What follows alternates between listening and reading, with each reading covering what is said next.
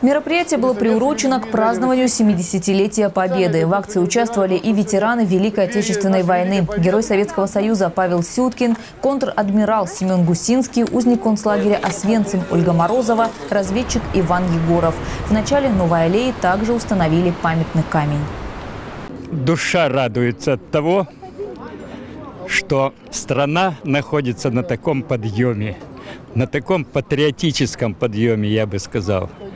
Нам, ветеранам, не безразлично, какие песни поют, какие стихи, какие книги, к чему стремится молодежь.